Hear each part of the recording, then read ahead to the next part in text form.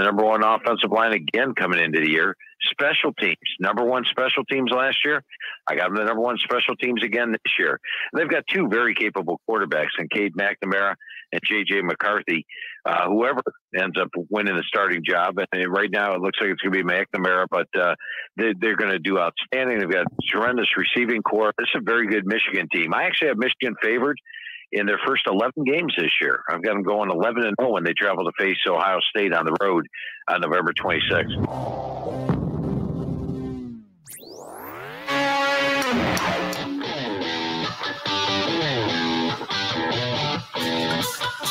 Hello there and welcome in. That was Phil Steele talking about Michigan going 11 and 0. We get ready to go here in August.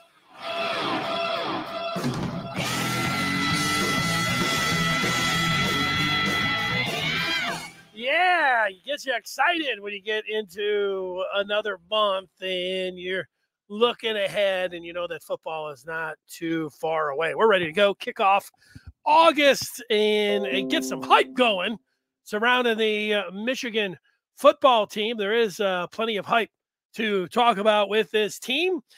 And uh, I made a list of the five most hyped Michigan players heading into camp. That's what we're going to be talking about today.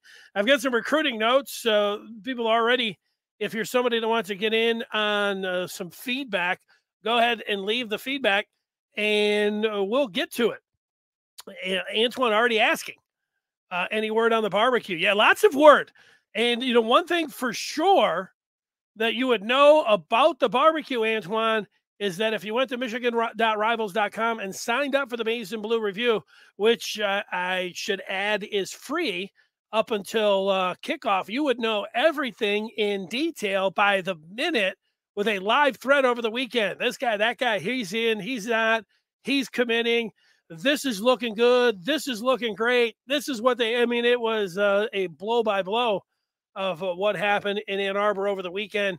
Uh, but it's okay because uh, there's still time uh, for you to get in there and check all that out. Now, I do appreciate you coming in and watching this uh, video or listening to the podcast uh, on a daily basis. We try to cover the basis, uh, uh, the basics of what's going on with Michigan football. And today we will hit some of those recruiting notes.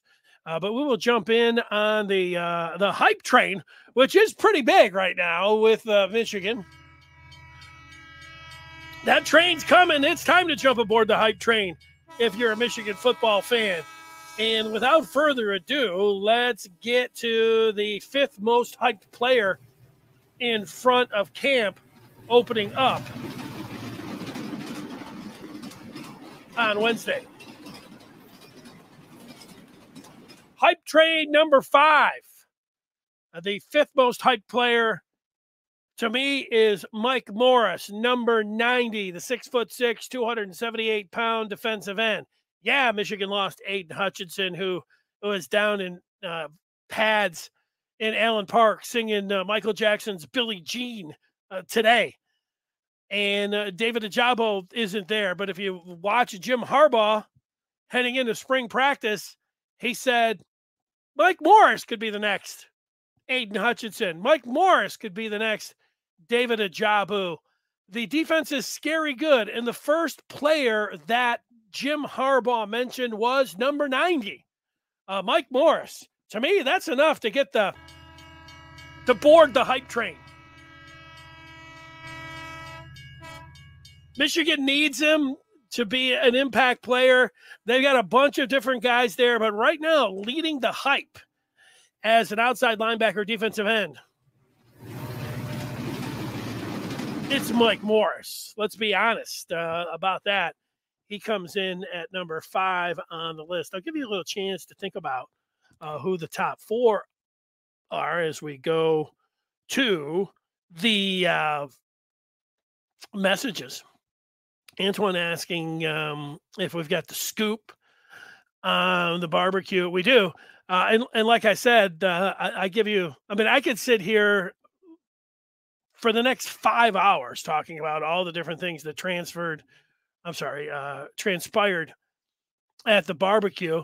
I'll give you some Reader's Digest uh, notes on what happened. Uh, Adrian, he's already tickling the twine a little bit. This was one of the, uh, me, big developments. Uh, you know, is it the biggest development? Okay, I think it is. Adrian uh, asking about uh, Jadyn Davis, hoping that he had uh, a great time at the barbecue. Travis uh, talking about a big commitment. We're going to get to that coming up. Travis indicating that Michigan is now ranked ahead of Michigan State in the 23 rankings. That sure didn't take long to close that gap. Yeah, I haven't actually looked. I'll, I'll take your word for that, Travis. I know Michigan State over the weekend, both in basketball and football, uh, landed uh, some four and five stars. Uh, you know, incredible weekend there for MSU. But this is a Michigan show, so I didn't actually look to see just what the football commitment did for Michigan today and if it moved him in front of Michigan State. But if that's true, you know, uh, uh, we know it's all about. Well, what we know it's about is getting the talent and getting them out there on the field and developing them. But uh, does it matter that they're moving up the rankings? And does it matter that they moved ahead of Michigan State?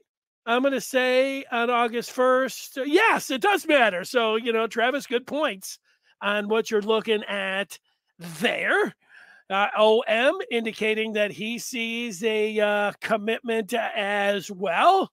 And we are going to get to that uh, coming up uh, right after we talk about uh, what's going on with the uh, the hype train. Logan, like the intro. Well, thanks, Logan. I, you know, I've got the intro and I've got the hype train uh, going. Antoine, before we go back to uh, hype train number four, which I see coming down the track here, uh, Antoine saying people were tripping about the recruiting. Michigan traditionally re- recruits late, not to mention it's early, and most people that's ahead of Michigan uh, in recruiting have a bunch of three stars. Yeah, look, I, I because of name, image, and likeness, and because Michigan finished in the top 10 last year, and because Michigan won the Big Ten, uh, there was a thought, and I, I, had that thought as well that uh, why not Michigan a, a, top five school this year? Why not uh, when you finally have broken through and won the Big Ten? How about that bump uh, in recruiting? And then when uh, name, image, and likeness, you know, to, to go back this summer when when Harbaugh came out and said, "No, we're not getting involved," in name, image, and likeness, basically, is what it what I heard when he said Michigan was not getting involved in the transactions. Uh, you know, you're just coming to to school at Michigan, and that's going to be transformative. It was like, wait a second, hit the pause button. Let's see what happens here. Now you had to see how it played out, and you make some good points, Antoine, about uh, Michigan doing things late, and and and nothing is uh, you know this is what you do in you know uh, in the off season.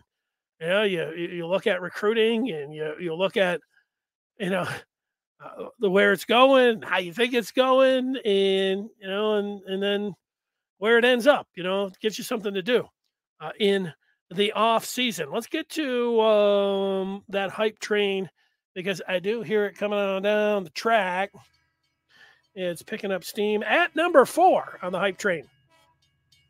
It is a five star, speaking of recruiting, and a local guy, Will Johnson. Will Johnson is listed at 6'3", 190 in the Michigan uh, on the Michigan website. Defensive back. He's wearing number four in the picture that he has on his Twitter page, but he is uh, elected to, and he has been able to get the number two. Blake Corum has the number two on offense. Will Johnson with the uh, what would you say historical number, big time number. Um, Charles Woodson's. I guess that's the uh, the best way to say it. Charles Woodson's former number number two as a defensive back. Will Johnson, the hype is it incredible? Yeah, it is incredible. Oh, Michigan's got two, Gemon Green and, and uh, DJ Turner. It's a probably starting corners, and you know they've got a lot of candidates to you know to be a nickel and dime corners and defensive backs, but you know safety line it up as a slot corner anywhere.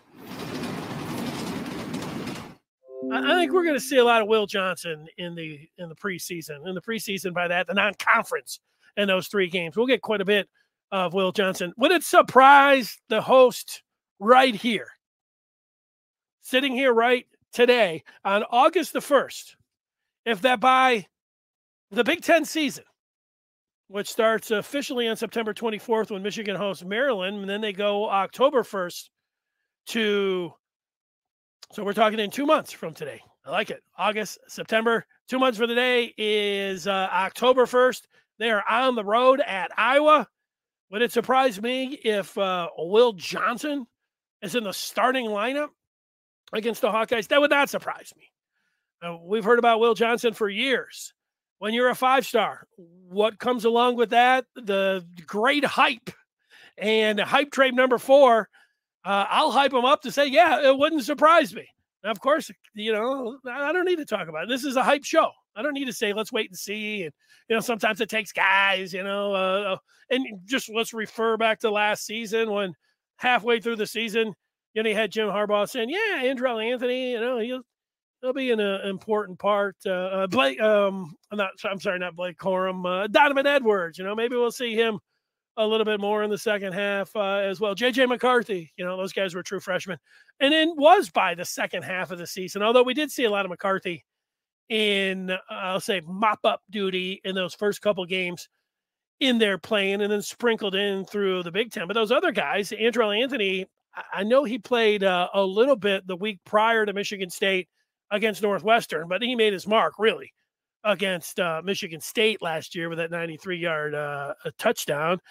And Donovan Edwards, we may have saw a little bit of him, but he didn't really break out until what was that week uh, 11 when they went to Maryland, and um, that was a uh, that was a long time before you would say he looked like a superstar, at least flashed like a superstar. He may have got some snaps before that. But what you say um, um, uh, flashing like a superstar and getting aboard that uh, hype train. Let's get to some more feedback while we continue to hype up.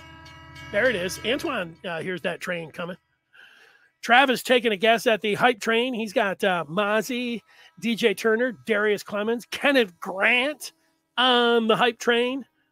Otis has got Graham and Grant, hidden gems that Michigan got you know, both of those guys, defensive tackle, nose guards, and uh, I know that Grant specifically was uh, uh, talked about. We talked about him him on Thursday and Friday. Uh, Bruce Feldman was talking to Jim Harbaugh, and Harbaugh was, you know, making these, uh, giving the the forty times and and all of that uh, out for Grant, which was a pretty impressive. Adrian's thinking D. Edwards, Otis is thinking that Will Johnson at Mr. Johnson. That's true. They flipped four top recruits on signing day. Yeah, you know, the the flipping, it it can happen. Logan guessing that both Johnson and Darrius Clemons will be on the hype train.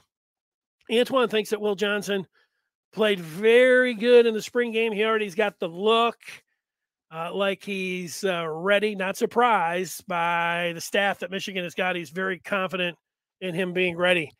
Yeah, I, I there was a play and I sat down in you know in front of the the press box down by the 10 yard line. So what is that? That is the southwest corner of the end zone. I stayed in the middle, then I moved down to the southwest corner of the end zone. And there was a play, it may have been a fourth down play, but I think it was a, a third and goal. And Will Johnson was joined by, was it Myles Pollard or Kobe Jones? I think it was Pollard, number 24. Uh, so you had two true freshmen out there on this third and goal or fourth and goal. And, and both of them just had the look where you you just uh, you watch the play. I'm right up close and I see it, and uh, they flashed. I saw, I saw the the fundamentals. I saw everything that you're looking for. Those guys played it like pros. Now we watch a lot of football, and you know what a corner is supposed to do when it is a third or fourth and goal and they're throwing a back shoulder, you know, it how you're in position, how you turn your head, your hips, the fluidity, all of the things that you look for. Probably some other things, you know, that, you know, real um scouts and things like that, you know, their uh, footwork and all the different things. But you just watch it as a fan and you look over there and you say, those guys look like these guys look like uh seniors. These guys look like pros over there playing that uh playing that pass. And so, yeah, yeah, Will Johnson, uh, I'm in there. Uh, Will Johnson being six three is intriguing. Me too. That that's a big for a corner, big rangy corner. One thing I thought about that, Otis, uh, I was looking at rivals had him at six two, but that is uh, on the Michigan website and spring game that I mentioned. I have the spring football roster. Let me see if the it checks out. It does. I printed up that roster. Will Johnson, defensive back, six foot three. They got him weighing 190 pounds out of Detroit and Grosse Pointe South. So, yeah, he uh, maybe he's all of that at six three. New Daxton, uh, I'll buy that. I am, uh, I am uh, buying that. Let's get to train three, just coming through.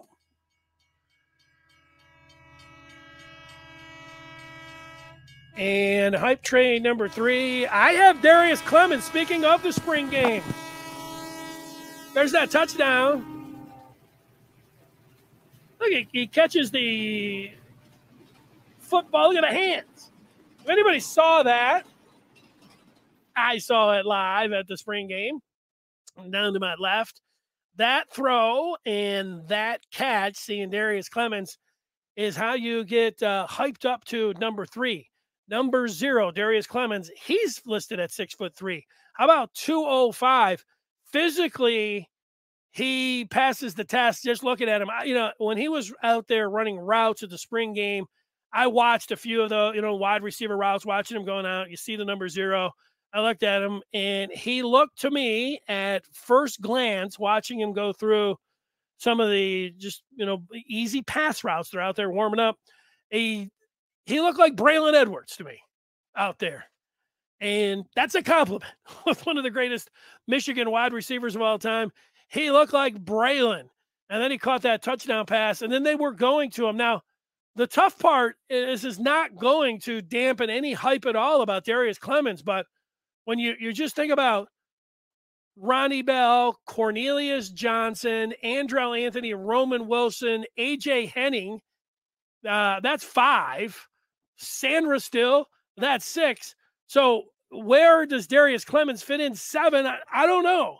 That's a lot of wide receivers, and that's gonna it could be difficult for him to really make an impact as a wideout because the the position is so deep. But a lot of times, if you're to bite, you're to bite when you're a pup, a freshman. Uh, it, it happens even when you have extremely deep depth charts and you get a great player or uh, you are a great player. I'm not saying he is yet. I'm just hyping him up. Again, I'm supposed to be just hyping this up. Let it go. Let let the let the uh, let the hype flow. Let the train. Am I climbing aboard the train?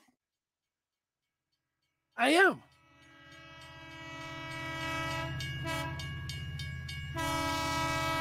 That's the hype train for Darrius Clemons. Let's do it. I mean, he can find a spot. You're good enough. You will find a spot if you are Clemons in this offense. This on paper on August the first, I, I can't hype up the offense enough as a as a side of the ball on paper. This is one of the best Michigan offenses I have ever seen, and it doesn't matter that in 2019 I was saying the same thing about uh, that offense and it didn't materialize. Okay, it, it doesn't always mean that it happens, but sometimes it does with what you have. And when you go through the quarterbacks, the running backs, the wide receivers, the tight ends, and the offensive line, what else is there? And you look at the depth, and you look at the look at the proven players, and you look at a guy like Ronnie Bell coming back, and you look at a freshman like Darrius Clemons, who's on the hype train number three when Michigan's got a half dozen players in front of me, you say there's no way that he could get in front of them. Well, there is a way. If you're uber talented, and he certainly does have the hype or that. All right, so let's get there. Uh, OM, the, uh, people are talking about some of the other players on the hype train. So, uh, number two is coming down the track, and let's get to him. Donovan Edwards, hype train number two. Six foot, 202 pounds. A lot of hype here with Donovan Edwards. Donovan Edwards in, in, against Maryland had 10 catches for 170, 170 yards and a 77 yard touchdown. And that, I, I would say, he arrived. And then it was Donovan Edwards, like he just broke, he just broke through. He, has got this incredible game against Maryland. And I remember Jim Harbaugh after that game uh, well, let me back up. Even before the Maryland game, there were times when Jim Harbaugh, you know, they would be talking about practice, and he would say, "There's just big splashy plays by by seven, uh, big big chunk plays, fifty yarders." Just talking about how fall camp was going, even as a true freshman, it's like he is doing things. And then it was other coaches that would slip it in there, saying, "Yeah, you know, big play." Uh, Donovan Edwards makes big plays uh, every practice. So then you had Harbaugh talking about splashy plays you had different coaches at different times talking about uh, big plays every practice. And then you had the Maryland game where he went for 170 yards and had the 10 catches. And then he had the Ohio State game. And I don't have the numbers for the Ohio State game, but you remember he just uh, he was he was uh, flaring out for a little running back screen, and, and they threw him the ball. He just stuck his arm out like at the last second, like whoop. Man, it looked really easy. Caught it one hand, put it, tucked it, and then went up the field and it, it was just the uh, effortlessness, uh, like the second nature. It, it just like everything about it was like this guy is a star already. And then you had the Big Ten championship game where he just rolled out and then he stopped and then he fired the ball down the field. Now, forget the quarterback competition between McCarthy and uh, McNamara. The best throw last year that was on the money it, it, it, actually wasn't JJ McCarthy and the ball that he threw all the way across. It wasn't uh, McNamara's 47 yarder. All, all were fantastic. It was Donovan Edwards who threw the perfect pass and got hit while you go back and watch that. You forget about that. They should have called it. Uh, maybe if the, you know, I don't know if the officials were doing. He got, um, uh, he got totally hit late and then uh, totally targeting right in his face, targeting. Guy launched, hit him with the crown of the helmet in his face, and he still was able to complete that long touchdown pass in the Big Ten championship game to Roman Wilson. The the hype train, you would think just for that, but then it was just last week. Jim Harbaugh. You remember what Jim Harbaugh said last week about Donovan Edwards? He just call him exciting. What did he call him? I don't know. I, I guess I should have looked this one up too.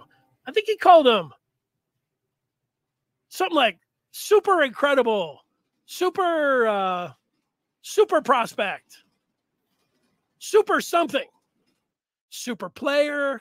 It was better. It was better than super player. It was something like he's super incredible, and that bumped him up on the hype train to me. I, I'm aboard, and there, there's been a lot of this. Somebody was telling me I, I didn't see uh, Joel Klatt uh, called Donovan Edwards as his sleeper Big Ten Player of the Year. Former Michigan offensive lineman Jon Jansen was talking about uh, Donovan Edwards uh, as a big time sleeper. Um, I don't know what context that he put it in there. Uh, maybe from Big Ten, All Big Ten, All America, whatever. But that's a knife. Uh, there's the hype, and then Harbaugh joining in on the hype last week. I'm not going to stop this train. I'm jumping aboard the Donovan Edwards train. Now, it doesn't mean I don't like Blake Corum. I love Blake Corum. And I think that Blake Corum with Michigan football fans is underrated. And Corum doesn't seem to be like that uh, nationally. You know, he's making all of these lists of top running backs and potential All Americans and all that. But around here, people are eyeballing Edwards. And, you know, I'm not saying it but other people are making it sound like this guy's uh, just a superstar. Just add playing time. Just give him the ball, and you've got an instant All American. The hype train is it's not out of control. It is just rolling down the tracks. And I, I think just people that we're talking about here is uh is just something that they see. It, it's just something that you're going to get more Donovan Edwards. And they just, when they talk about him in practice and the things that he's done, like he has just scratched the surface. I think all of the uh, the hype and uh, any projection for Donovan Edwards, I, I don't know if you can have too high of a projection for a guy like this. He, uh, if he is displayed, if I'm just going to be serious about it, if he has displayed one trait where you would say that is elite so far, it is catching the ball and out of the backfield and running with it. He just hasn't uh, done it between the tackles. That doesn't mean he can't. And you know the uh, the complement of size that he has here, six foot two oh two. The way the game is going, when you think about whether it's Najee Harris, uh, the the Pittsburgh Steeler running back, or um, uh, Austin Ekeler, who's more of a diminutive back, but he catches the ball a lot out of the backfield. Of course, Alvin Kamara. A lot of people look at uh, Kamara and say, you know, that's uh, that's Donovan Edwards. All flattering and all understandable when you talk about a, a, a player that is uh, just uber talented, and you just can't wait to see him out on the field for uh, for Michigan. Ty saying another Ricky Watters. Now, Ricky Watters for the Eagles and for the 49ers was an incredible running back. Ricky Running Waters, I think they have his nickname was, or Chris Berman. I see that as well, Ty, and that's for uh, so, some old school football fans. I guess you know it's been a while since Ricky Watters has played, but I'm with you. Ricky Watters was awesome at catching the ball out of the backfield. And do I think that the comparison to Donovan Edwards is spot on? I do. Antoine loves them both equally. Talking about Edwards and Blake, they are monsters, especially if they're both in the backfield together, catching and running. Imagine a linebacker trying to cover them. Laughing emoji. Exactly. I think you can put them both in the backfield. You know, the the hype train with the backfield is that we just don't know who's going to be that short yardage back, who's going to be that goal line back. But when I watch um, Alvin Kamara on the Saints, sure, they put different guys in at different times. But you know how many times they handed it right up the middle? Right, right off of, uh, right in between the tackles, they handed off to Kamara. They do it. And do I think Blake Corum, who busted out and had that big run, was it the second series against Ohio State last year? That was a play up the middle between the tackles. You know, Hassan Haskins was really good at it. But I, I think that um, when you talk about short yardage back, you automatically just go to, well, you need a big, beefy guys. Maybe it'll be Tavierre Dunlap. Maybe it'll be Khalil Mullings. Maybe it will be AJ Henning who's a short yardage back.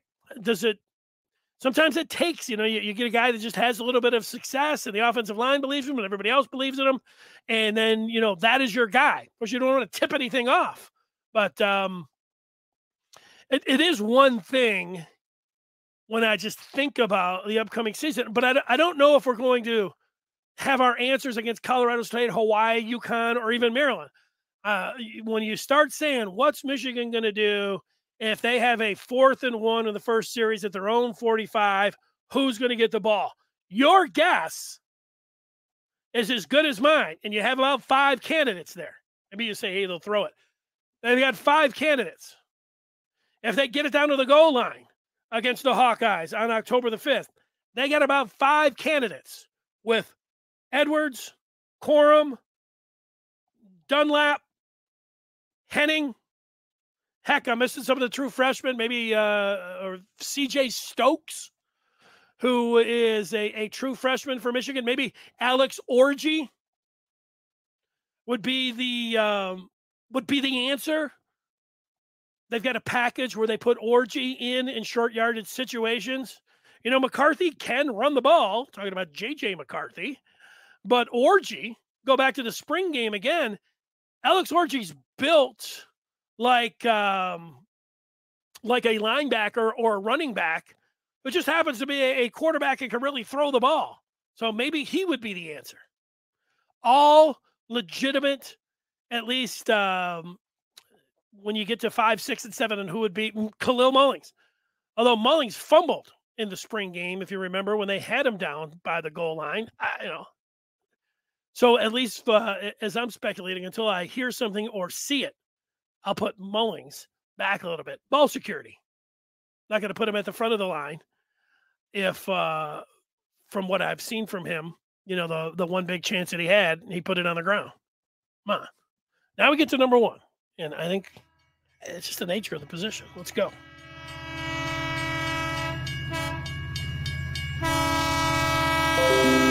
Hype train number one coming down the track. Number nine, JJ McCarthy.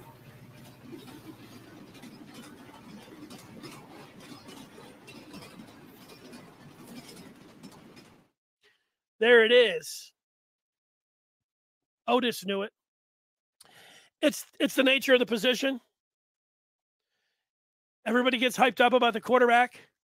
I, I, know a lot of people. You know, if you if you spend time on social media, you can get a lot of wild, a lot of wild, you know, arguing, you get trolling, you get all back and forth. But even my Michigan fans, you'll. I, I saw one that stuck out over the weekend. There was a guy saying, "People that tell you that there's a quarterback controversy at Michigan don't know what they're talking about."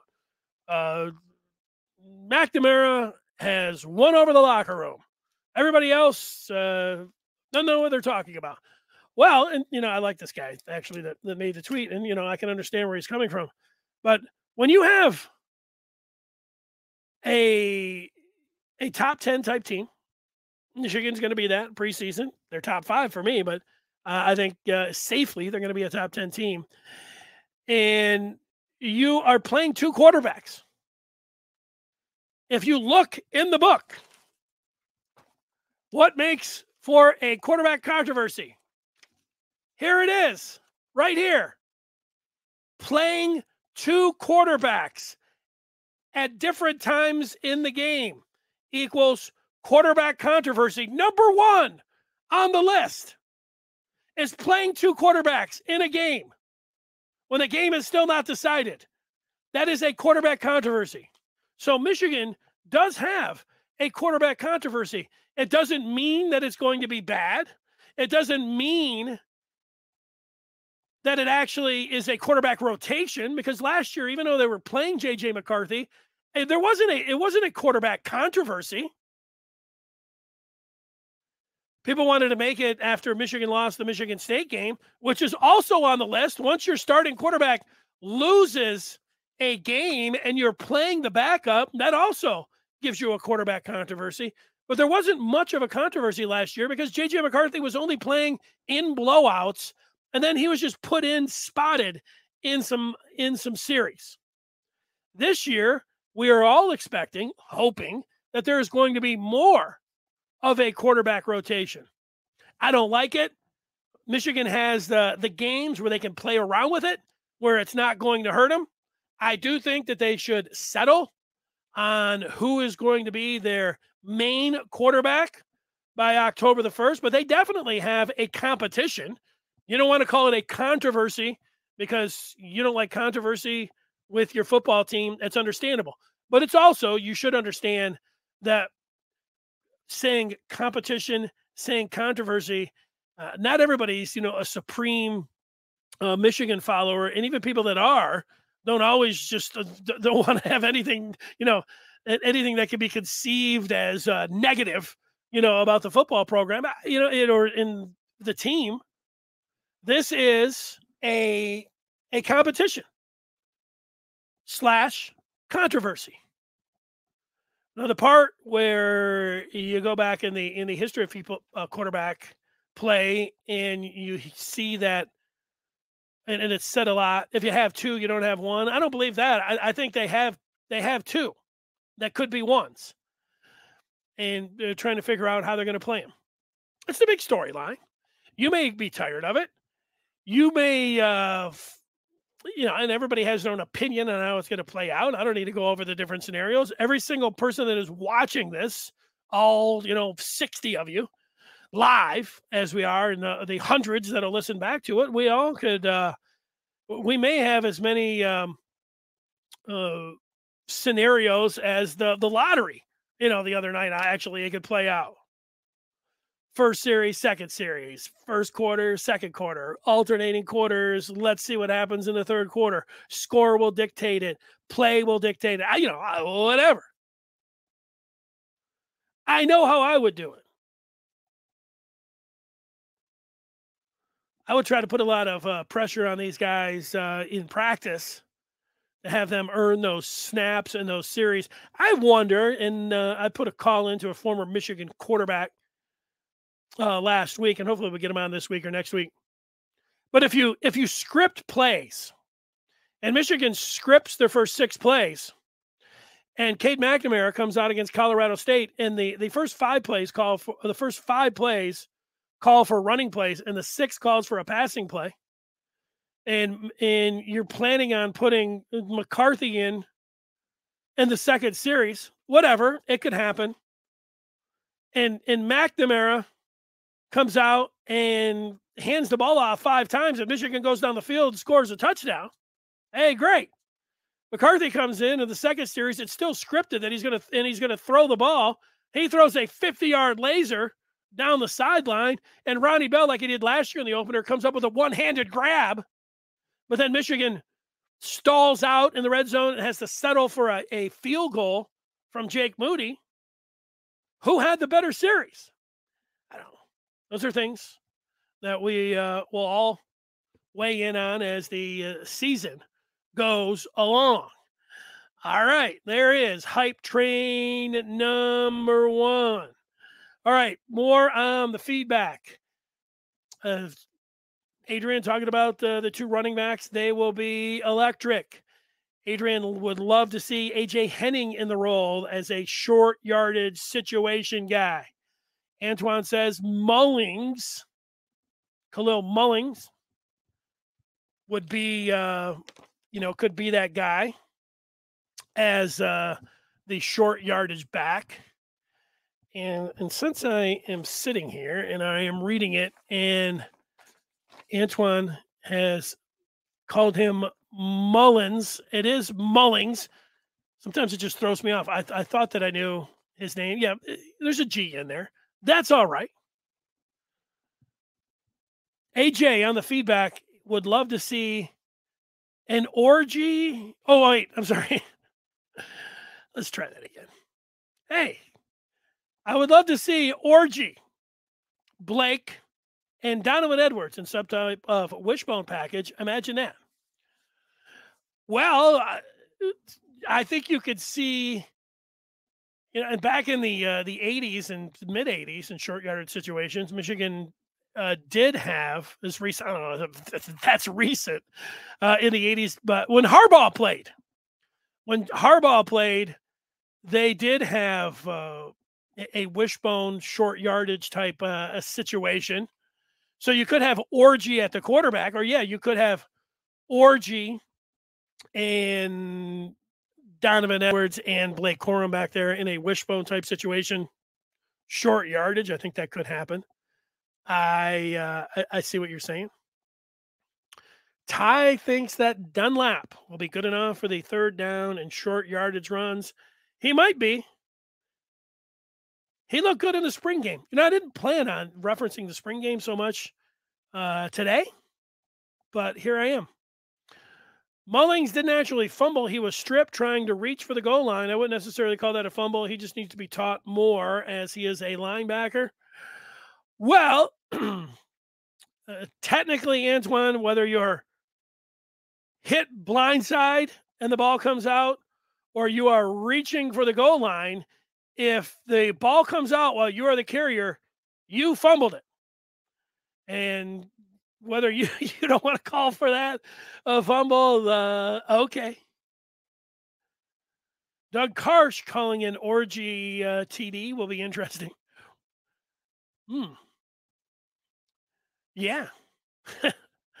uh, hopefully we see it and hear it. Yakov, good to see him. In a one score fourth quarter game, whoever is playing quarterback is the real quarterback. Well, Yakov, I agree with you, but I will take you back. And I don't have the, the play-by-play in front of me. And that gets to be the whole thing. I think I need to rewatch the Michigan State game. And, and it comes down to it. I think it was like right at the beginning of the fourth quarter, but it could have been in the third quarter. So I'm not 100% sure. But Michigan got the ball down to the red zone. And on the first pass, I'm going to say that Cade McNamara had um, took a shot down the near sideline and and had Cornelius Johnson there, but put a little bit too much air under it and, and overshot him. Not a bad idea, you know. First down, hey, he's there. Uh, you'd like to see a little bit more of a catchable pass and give him an opportunity, but he didn't. He kind of was more throwing it away. Didn't like the look. You know, quarterbacks, you'd have to talk to Cade exactly what he was looking at there. You know, he may have thrown it exactly how he wanted. Didn't want to give. You know, he had a couple more downs to deal with. So, what was the big deal? On the second play, McNamara again went to the air and to the end zone and had like a. Um, it was across the field and was looking for something more in the back of the end zone over by the goalpost. I don't remember who the wide receiver was, but again, that one was uh, one that was covered pretty well. Could have put it on the receiver a little bit more, but opted to like throw it five yards over his head. Very safe play. And it got him the third down. What happened on third down is they brought McCarthy in and he rolled out and fumbled the ball out of bounds. Michigan kicked a field goal. Now, the part where this is why I don't like rotating quarterbacks you know, McNamara's uh, it, it, he's out there. I would like to give him the the three downs. I want to give him the three downs. You know, he a little bit long on this one. Yeah, throw that one away. Third down, give me my another shot. I've just looked at two plays here. I'm I'm in. Uh, you know, I, I've got the the series. It's my series. I, I, I, know what's going on there. I know what play I'm looking for. Oh, wait, Harbaugh's sending the freshman in. In a critical time in, in big time game. I don't like it. Now I'll have to go back exactly. You can say, hey, McNamara got his bell rung on that play. That's why McCarthy is coming in. I'll have to go back and look exactly. So we may have to strike the last three minutes of me complaining about, uh, but the point still remains. Like you know, you're in there, and in between the series, uh, having the other quarterback in, a lot of that is, uh, you know, something that you know you can complain about. Josh talking about Orji being in the bottom of the pile. Yeah, well, there's a lot of things that Orji can do that you know that can get you excited, and uh, the the first thing that did get you excited about the Orji at the spring game is when Orji was stopped dead in the backfield, and then Orji had three or four on him, and then he just like threw them all off and sprung ahead, and Orji was able to get that first down. Antoine's reminding everybody that Haskins used to be a linebacker before he turned running back. He is sure that Khalil Mullings can be taught. Now, I'm not against Khalil Mullings as a short yardage guy. I just pointed out that he had a ball security issue in the spring game. I also do remember that he sprung one out uh, and and made a 20 yard run. Looked pretty good doing it. So hey, uh, anything can happen. The punters agrees with Jake Butt that Harbaugh will use the non conference games like an NFL preseason. Well, I didn't hear exactly what Jake Butt had to say, but I think that the best laid plans. The one thing about a a uh, an, NFL exhibition is that score doesn't matter. It doesn't matter if you lose a an NFL exhibition game. You could be in the second quarter and you can be down 20 nothing and you want to try something and you try it. So, but I get the idea. Like Michigan can't go into uh, the second half against Hawaii at night and it be a 10 7 game and, and treat it like a, uh, an exhibition game. But I understand what Jake Butt is saying. You have on paper, as we sit here, not not just three, but you have four games. You have all of September to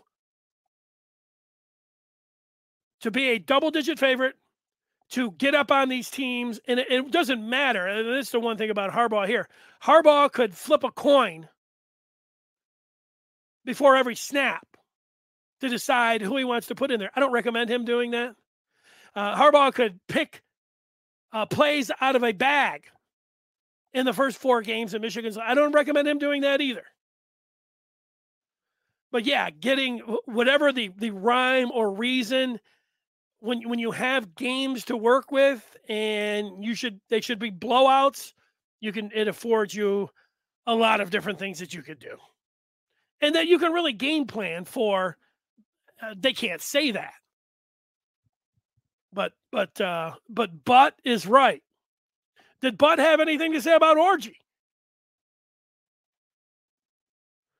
Jesse. I always liked when uh Jake Butt was on Isaiah Hole's uh, podcast, and they used both of those guys' last names. I always thought that was funny. JJ's role will be similar to last year. Sprinkled in, keep the defense on their toes. He is a talented prospect, but wasn't a five star on any recruiting services. Yeah, I'm not 100% sure on that. You're right about rivals. He was not a five star. And, but I, I, think some of the other ones, I don't know. I I, I just look at rivals. Uh, I, I don't look at every single site and compare exactly, you know, the the star system. He's very um, he was a more highly thought of recruit than Cade McNamara. I, I think you know for the fans, all of us, you know, it's fine. You know, we're looking at the star system and everything else. I don't think where McCarthy was uh, was rated is going to have anything to do with this year and how they put him in there.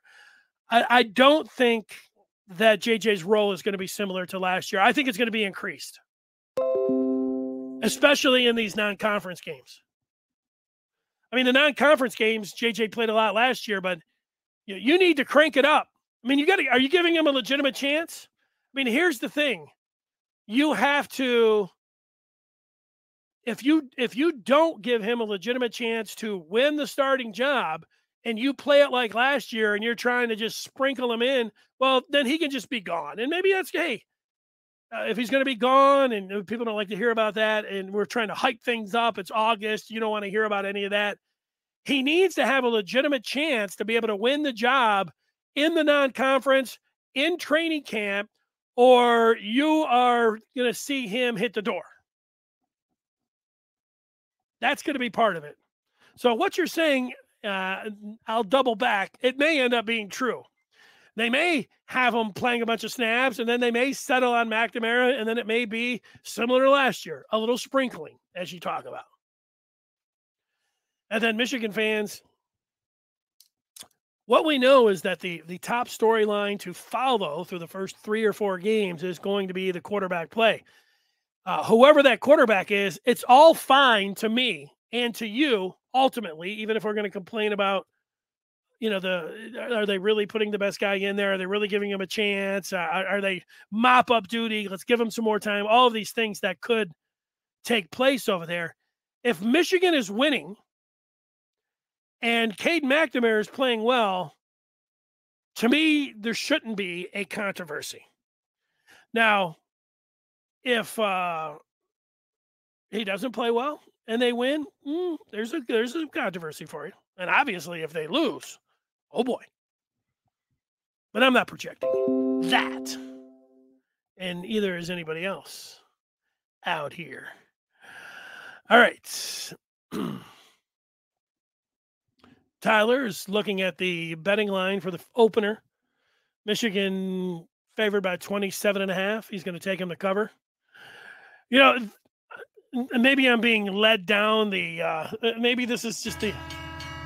I'm on the hype train. Put me in too, Tyler. Michigan minus 27 and a half.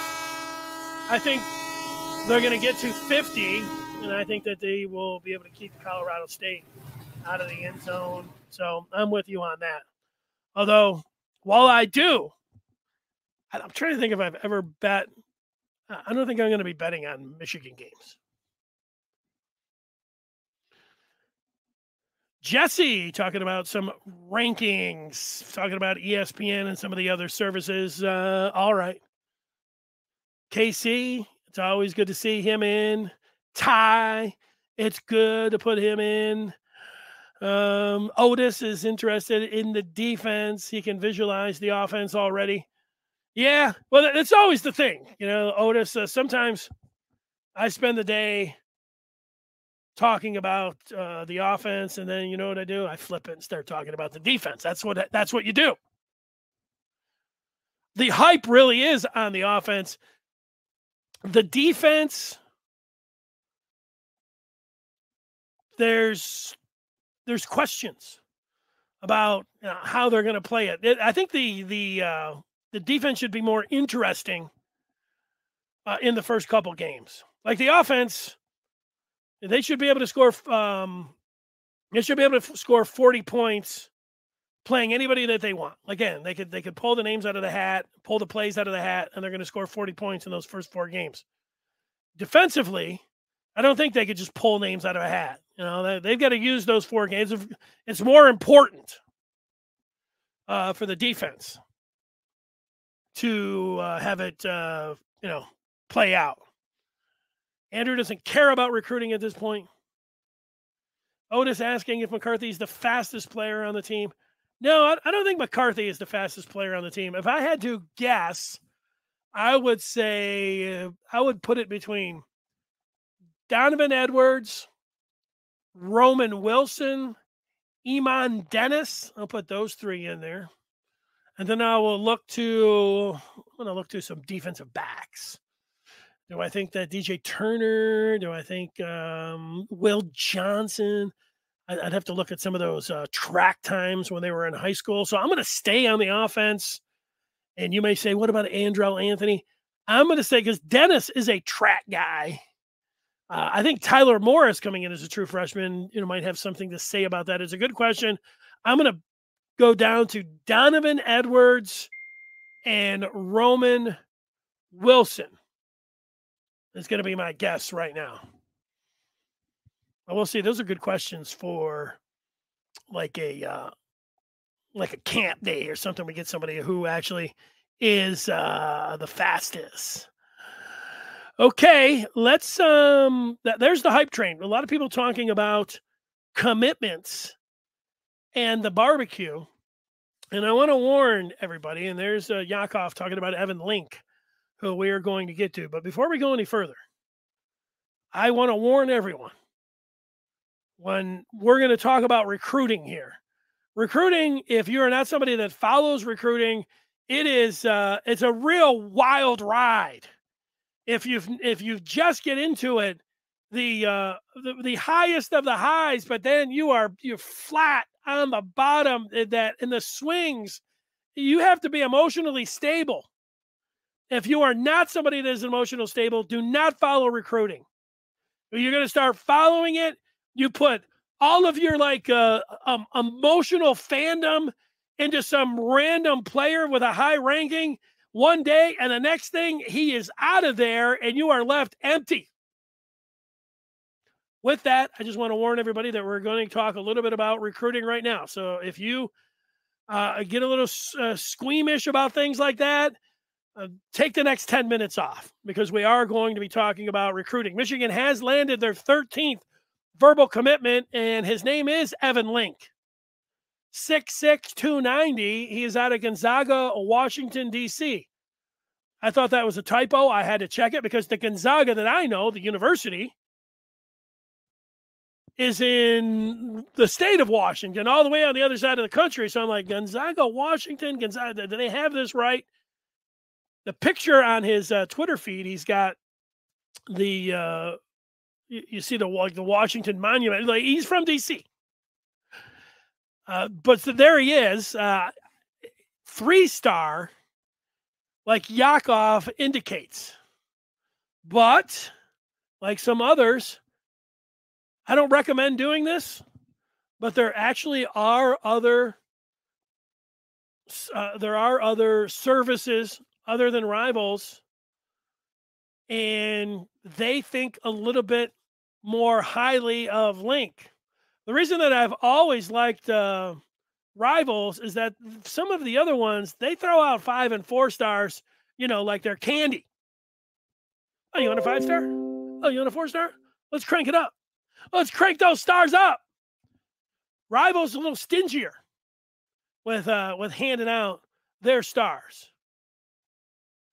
But uh, also something to look at is uh, an offer sheet and what teams are coming after your guy.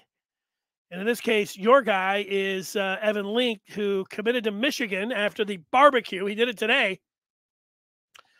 Link was um, also interested in Penn State, Stanford, Whiskey, and Florida State. Some big time schools in there, excuse me. Wisconsin offensive line U, Penn State. So, you know, Michigan got a good one here in their 13th uh, verbal, second offensive lineman. Remember, they got uh, Amir Herring way back at the, I think, beginning of July. So their second offensive lineman. And now they are to number 13 when it comes down to a verbal commitment. Yakov says you should post some grainy video of your playing days. Ooh, I don't know. Like I only played uh, two years of high school football. I am not sure that there is even video of uh, those days. There is a picture in one of the. I didn't get my. I don't think I got my sophomore, and maybe even be a freshman. But you know, you go through the yearbook. I don't know if they have yearbooks anymore, but they. uh You get the yearbook and you get to, to football, and there it is, and they have I, I did make the yearbook with my my freshman or sophomore picture. I'm sitting in there. That I think is all I have. But I I do have a black and white team photo. I'm not sure if that's from uh, a freshman, and I have a few stories. Now I do have some video from from basketball. I know one of the, the guys still still talk with uh, you know friends from from basketball for from high school, and one of the guys his dad taped, I think, all four years, every game. And then one time he'd loaned me a VHS tape and then I lost it. So he has all of them except one. I think that was one of my better games, too. I don't know. Somebody stole it. They wanted that 50 and hype video where I actually hit a few shots. It would be interesting to put it together just to see what that video would look like. I'll work on that. Ty is predicting more sacks on defense, but less pressures. Hmm. Would I want that? Would I want more? I, I guess I would have to. The Ty. That's a. That's uh. Maybe tomorrow we'll go with uh predictions. They don't have to be outlandish. Just uh, you know, your off the cuff predictions. Not right now. Uh, tomorrow's show. Uh, Andrew making a prediction that they will be better against the run this year. They were susceptible against the power run teams last year, and they'll have more bodies up front. Well, they certainly were susceptible against Michigan State. Canine still running. They were uh, outmaneuvered on defense by Mel Tucker and company, and they still they were never able to get Kenneth Walker on the ground. He had five touchdowns. They did stiffen up against uh, uh, Penn State, but um, yeah, the, the, the state game stands out uh, defensively. The new recruit came from the same school as Parents Williams on the basketball team. The Terrance Williams. That might be a talk to text type situation. All right, let's uh let's get you two more on the feedback, and Ty did uh, clear it up. Yakov saying offers are certainly important, but not always sure if it's a committable offer or let's see where things stand in six months. Most people don't even understand recruiting or how it works. Trolls celebrating Michigan doesn't have any recruits. It's still early. Yeah. Well, one thing, like if you like to get uh, tied up into other schools and what they think of your recruits, yeah, you're going to get into. Uh, you know, some people like that. like uh, the the are you rolling? Or are you trolling when it comes down to recruiting? I tend to just like to have fun with it. I know it's a very serious job. The people that are involved in it, uh, I respect. They uh, they remind me of detectives, the work they have to do, and they're out, they're on the phones at all times and working their sources. I mean, I I have respect for the game of uh, uh, for the the folks that are involved in doing it for a living. I look at it uh, from an entertainment standpoint. Uh, I mostly look away from what any of uh, a rival is going to say. But you know, sometimes when it comes down to what a rival might say about you, you know, they do pick. Well, it, they tend to go overboard. They completely keep hitting that spot. Bam, bam, bam, bam, bam. Um, there usually is a, a little bit of, of, truth in what they are saying. So uh, I was talking to a friend of mine today. I haven't talked with in months. He is a big state fan. At one point, we were just talking about the some of the uh, different places we are going to be on September 2nd, 3rd, and 4th, and if we are going to run into each other. Uh, he did say, Is Michigan going to be involved in name, image, and likeness? He just threw that out there because he knows that that right there is a little bit of a stinging point, or not a stinging point. It is a a point of contention still, although there's a lot of good news, a lot of good feeling about uh, name, image, and likeness like this when it comes down to Michigan. Of course, rivals are still looking at it. So there's Link. One thing I can tell you for sure about Link, I looked at his Twitter page and he's a smart one. Maybe he would have been able to get into Michigan without being a football player. I don't know what his uh, his test scores are, but if you go 4.22 GPA, I don't know how you you get above a 4.0? Obviously, you can. That's not something that's new. People do it. My wife is taking some uh, post grad classes, and she was like, uh, I got a 135 out of a 125. I'm like, I don't know. How does that even happen? Why don't they just say 135 out of 135? No, you can get extra credit. But yeah, Link 4.22 GPA. Nice job. He's a smart one, and Michigan got a good one. Okay, on to while we are hyping it, and there's two bits of hype that I want to get to. And believe me, this is hype.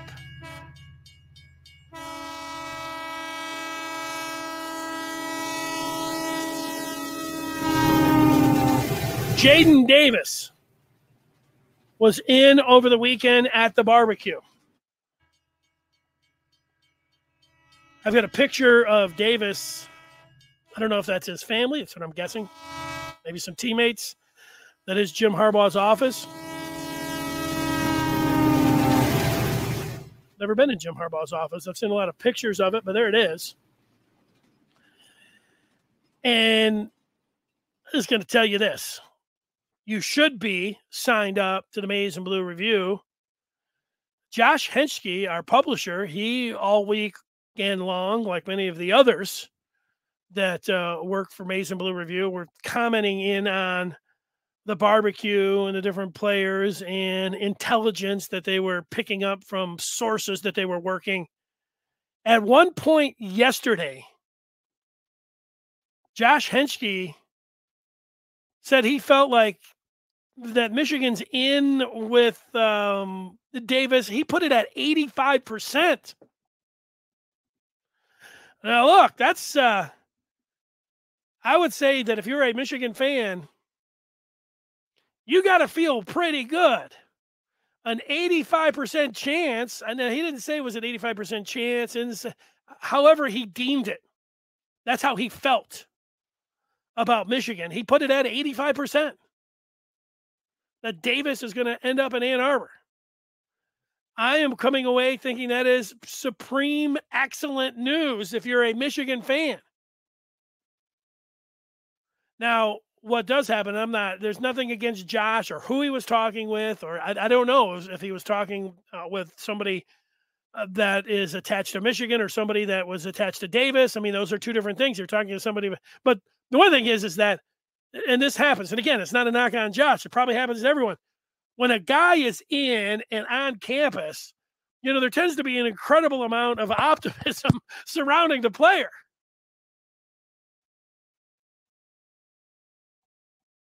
That, almost goes without saying. But 85% sounds pretty damn good to me. Him being on campus or anything else. I would, uh, some of it goes without saying. It is pretty obvious that this is one that's worth monitoring and that this one, the hype train, could be absolutely out of control. Five star quarterback. Michigan doesn't land a lot of five stars. We've been talking about the different ones. Uh, uh, back in the day, Drew Henson, you think about that 99, 90, and 1998 would he have been a 97 recruit? And then because he played in 98, 99, 2000, you know, so. And then after that, there was uh, Ryan Mallett, who ended up going to Arkansas, transferring, and then they get drafted by the Patriots. I don't remember exactly how that played out. This will be one of the highest rated commitments if Michigan is able to get Jadyn Davis of uh, all time. Let's see, CJ wanted to weigh in on the hype train that is Jadyn Davis, that I am all aboard on. CJ Wolverine says that's Davis's second visit to Ann Arbor, and he said he's coming back for a game. Well, CJ, come on. Michigan is in great position. The things that I would say, if there's anything to worry about, or or or, or what am I looking at when you are somebody like Davis Georgia is still coming after Jadyn Davis. There is um, the 24 quarterbacks. When you look, Ohio State has one of them. Is that Raiola? I think his name is CJ Carr. Of course, we know went and pledged to Notre Dame. There is another quarterback from California who's ranked in the top five, right there with Jadyn Davis. He is interested in Georgia as well. His name is Sayin. Julian Sayin, Justin's Julian Sayin. That I think Michigan also uh, was interested in, may still have some interest in, but they they sure seem like they have zeroed in on Jadyn Davis. If Sayin would go to Georgia, it's at least something to keep an eye on where Sayin ends up committing. Just saying. Yakov on the recruiting of Jadyn Davis. The best way to get commitments from five star quarterbacks is by putting out first round quarterbacks. The big house and the business school aren't the answer. Well, if you're just going to go on that, and I think there's some truth there, if you said the same thing about running backs and wide, you, would be in trouble if you're Michigan if it's just about you know the guys that you're putting into the NFL. So there is that part. So I don't know. That is a component of it, uh, and it's different for every kid. You know, sometimes school is an important component. Uh, uh you know, the weather can be something. Uniforms. I mean, there's all kinds of different things you don't know. Uh, the the the different uh, variables when it comes down to the NIL can be an important uh, factor. Although, if you and you probably like I am encouraging you to check out and Blue Review. Uh, and I, you know, and I don't know, a guy could say that name, image, and likeness, and, and the money is not, you know, a factor. Usually, money is a factor, you know. So, I don't know. I don't know. Yakov uh, is a very unique position, situational. Yeah, for sure. Playing time. It's also one of these things like, you know, I, I could sit here. Well, let's do it. Why wouldn't you want to come and play for Jim Harbaugh? The guy played at Michigan, was a highly thought of uh, quarterback, All American drafted uh, in, in, the NFL draft, played quarterback for uh, a long time in the NFL, various stops, went to the college game. Andrew Luck was uh, his quarterback, went to the pros, and Colin Kaepernick in his first year took him to a Super Bowl. Now, those are right now what we're sitting at Uh, can we add if we're I guess if we're building a resume saying, "Oh, you want to put anything? well, he's been at Michigan on there." Yeah, let's go ahead and put last year. You know, winning the Big Ten championship with Cade McNamara. You know, let's let's put let's put that down as a as a positive on the resume. The negative part, you would go to you would say doesn't have quarterbacks that have been drafted in the NFL. You could name the you know from from year one uh, all the way through. Uh, from, you know from Rudock, uh, you, you you go down the list and and talk about the quarterbacks that he has uh, and where they have been drafted, and and you would say that would be that would be the negative. Speight, Milton, some of the transfers they put in there, and uh, and there you are. So, you know how that plays. I, you know, I, I still think it's a uh, a positive overall. Harbaugh's quarterback resume and coaching and playing days can, and where the negatives are at. I think that the resume is still a positive one uh, for Michigan. Uh, all right. That's not, we've got one more train coming down the tracks.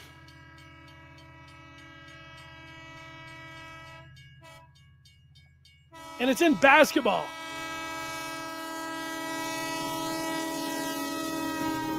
Isaiah Collier. For those that like rankings, he is a five star, bona fide five star and he is ranked as the number four overall player in 23. Overall, number four. He is a point guard at six foot four. I watched uh, uh, some video of him over the weekend of Collier. He does have the nickname of the Wizard. He said he thought that nickname was okay. His nickname that he likes is Zay. I'm guessing from Isaiah Zay. Zay Collier. When I watched the five minutes of uh, the first video that came up, he reminded me of uh, Anthony Edwards from the Timberwolves. Same height, same build. Give him the ball and just let him go. I mean, that's what he was doing in these videos. Uh, in you say, well, is he a, a skinny guy at, you know, six foot four as a point guard? I put the pictures up just for this weekend of Zay Collier. And the answer to the physical part is that he looks like he has an NBA body already. Forget having a Big Ten body. Physically, as a point guard, he is uh, all that. So you don't have to worry about that. And I also thought when I saw some of the video that he attacked, sized guys up like Tyrese Maxey, who plays for the 76ers, but Maxey's listed at 6'2. Collier's bigger than Tyrese Maxey, but yeah, you want to know how you get to be ranked as one of the top five players as a point guard? You could just do everything, and you watch the video of him, and he does. He's he's a man among boys. Uh, you know, he you know everything is awesome. I was watching just some individual v- drill work. And it's like, you know, this guy's got an, this is a complete game changer, all of that. Now, you say all that and you say, hey, you know, uh, Caleb Houstan was a top 10 recruit last year. Fair enough. you know, this guy's top four. So, yeah, they don't always hit and they're not always incredible, but, uh, you know, when you do talk about five stars, you, you, think about program changers and superstars, and you do get excited about that. And what comes along with recruiting rankings is hype, and we all know that. And Collier is going to make a decision soon. And it sounds like Michigan and USC, maybe UCLA, and who's the other? Cincinnati. Those are the four schools. But Michigan is right there in the mix. And he has said, he was said, I'm sorry, he said that he was going to make a decision before he came into Ann Arbor. And it sounds like he is still going to make a decision here pretty quick. What does that mean by the end of August? I don't know. Pretty quick could mean today. He uh, would be great, you know, the kid.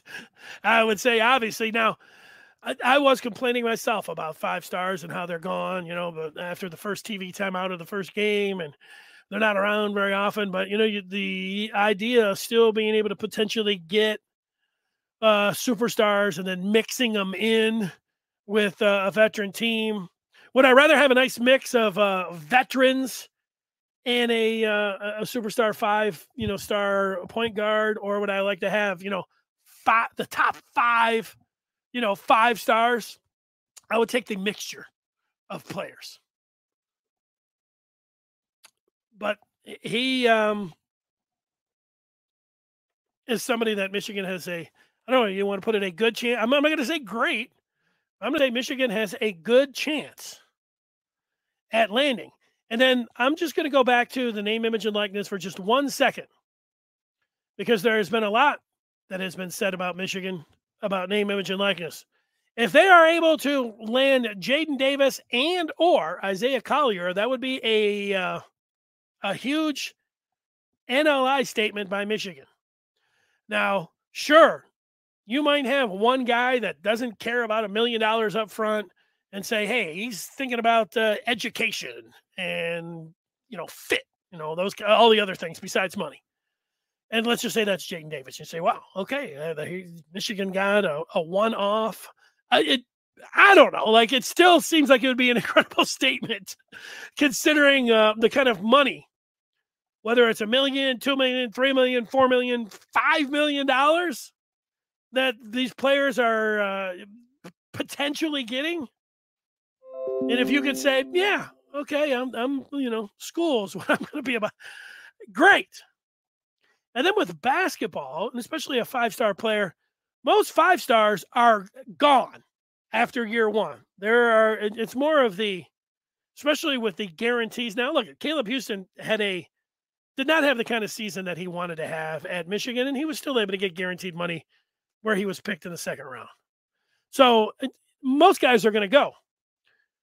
So to go to a place like Michigan without the guaranteed money up front, that is also a huge statement. So we'll see. Neither of these guys have committed yet. Neither obviously have signed.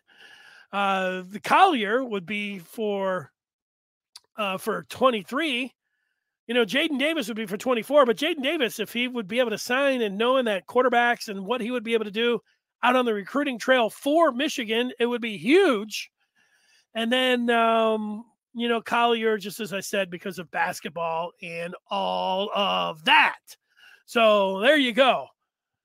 I appreciate everybody getting in. Tomorrow, we will take your uh, predictions on things that you think are going to happen with the Michigan football team.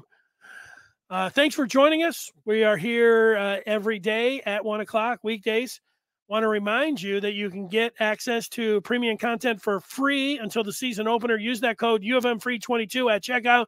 You can see what everybody had to say about everything that's going on with the barbecue. I just scratched the surface, probably another 10 names I could sit here and, and talk about. But you want to know what Michigan's next move is? Join the Maize and Blue review today. Go to michigan.rivals.com. Uh, I have set a record today for the longest that I've ever been on this YouTube. I appreciate everybody. I'm logging in. Paul was there. Uh, he's fired up on uh, Clubhouse. Everybody else uh, for joining us around wherever uh, you're getting in. Take care, and we will talk to you. Uh, Moses wants a shout out. Hello, Moses. Moses Malone. That's it. Rest in peace, the great Bill Russell, who passed away over the weekend. Uh, we will uh, be back tomorrow at one o'clock.